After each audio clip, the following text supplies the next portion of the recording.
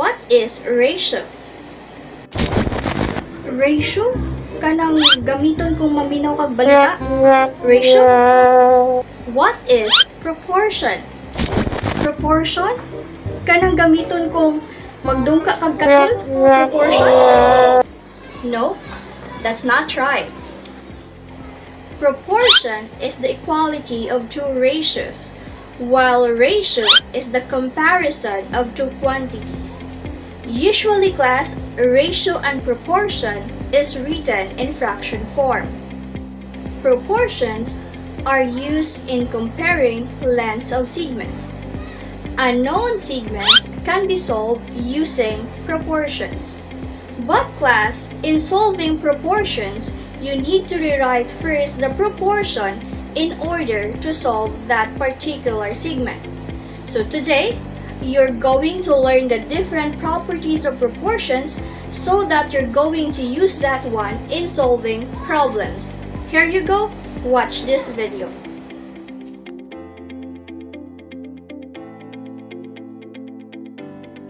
Now these are the different properties of proportions. First, means extremes product law. This law tells us that in any proportion, the product of the means equals to the product of the extremes. Thus, if A is to B equals C is to D, then AD equals BC. Often we call this law as cross multiplication.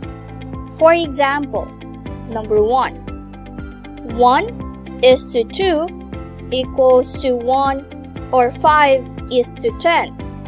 So if we're going to multiply this one, the extremes, 1 times 10 and 5 times 2, then they are equal to each other. 10 equals 10. Next example. 3 over 4 equals 5 15 over 20. So if we're going to cross multiply them together, 3 times 20 is 60 and 4 times 15 is still 60. Next one, invert both sides law or inversion method.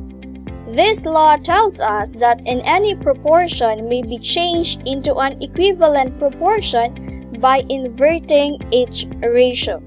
Thus, given A over B equals C over D, then B over A is equal to D over C. For example, given 1 over A equals 4 over 5, then if we're going to invert 1 over A into A over 1, then it is still equal to the inverse, inverted form of 4 over 5 which is 5 over 4.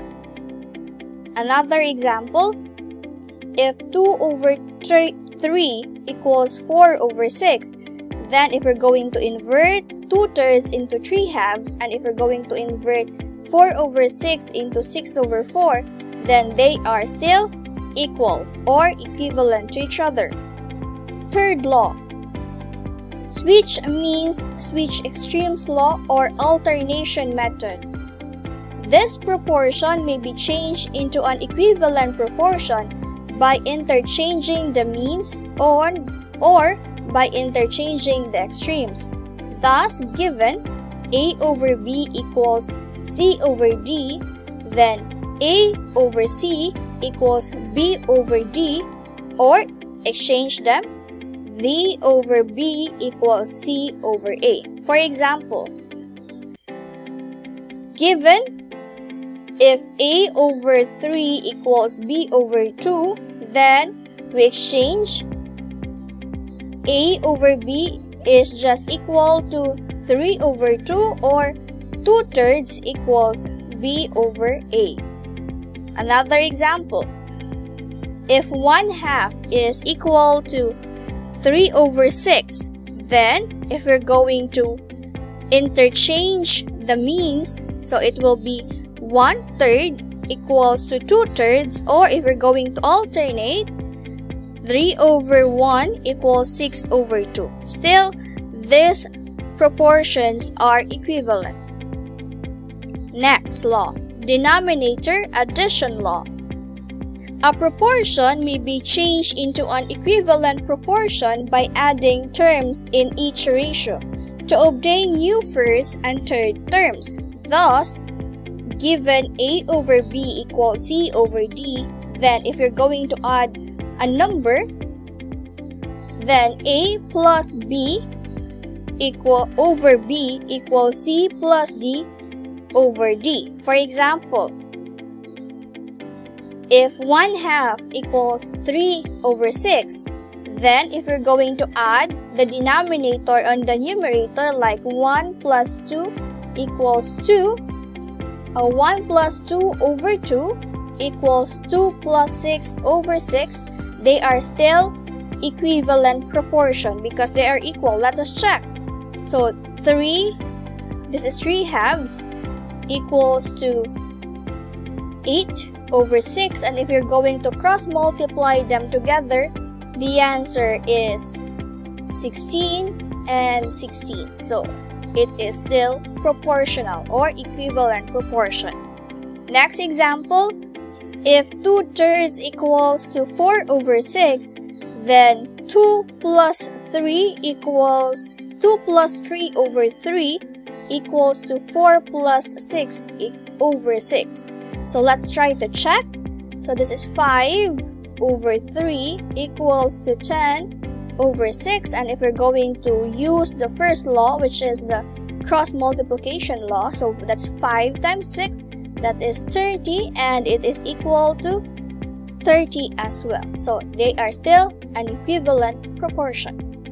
Next law. Denominator subtraction law. A proportion may be changed into an equivalent proportion by subtracting terms in each ratio to obtain new first and third terms. Thus, given A over B equals C over D, then the same with the last law, which is the addition, this time we're going to subtract. A minus B over B equals C o minus D over D. For example, 1 half over 3 over 6, then it is equal to 1 minus 2 over 2 equals 3 minus 6 over 6. Let us check. 1 minus 2 that is negative 1. That's negative 1 over 2 equals negative 3 over 6. Let's try to cross multiply. Well, Negative 1 times 6 that is negative 6 and 2 times negative 3 that's negative 6 as well so it's equivalent next number 2 if 2 thirds equals 4 over 6 then 2 minus 3 over 3 is equal to 4 minus 6 over 6 let us check so that is negative 1 over 3 and this is 2 negative 2 over 6 and if we're going to cross multiply then it will become negative 6 equals negative 6 and that is equivalent. Next one, numerator denominator sum law. If a series of equal ratios, the sum of any of the numerators is to the sum of corresponding denominators as any numerator is to its denominator. For example, thus if A over B equals C over D equals E over F, then if you're going to add all the numerators, A plus C plus E all over all the denominators, B plus D plus F, it is equal to the first ratio A over B. For example, if 1 over 2 equals 3 over 6 equals 4 over 8, then 1 plus 3 plus 4 all over 2 plus 6 plus 8, it is equal to 1 half. Let us check. So 1 plus 3 plus 4 that is 8 over 2 plus 6 plus 8 that is 16 equals 1 half. And if we're going to cross multiply them together, it is 16 equals to 16, which is correct. Next, three-term ratio. If any of three terms of one proportion is equal to the corresponding three terms of another proportion, the remaining terms are equal. Thus, if a over b equals c over d and a over 4 equals c over d, then we could conclude that b is equals to 4. Examples Number 1. If x over y equals a over b and x over y equals to 2 over b, we could conclude that a is 2. Next, geometric mean. The geometric mean x of two numbers a and b is the positive square root of their product. That is, if a over x equals x over b, then we could tell that x is equal to square root of a times b. For example, if 2x is equal to x over 50, then x is equal to the product of the, the square root of the product of 2 times 50. Thus, x is square root of 100 and x is 10. That is all for now for the properties of equivalent proportions class and you are now ready to answer the formative assessment. Thank you and God bless.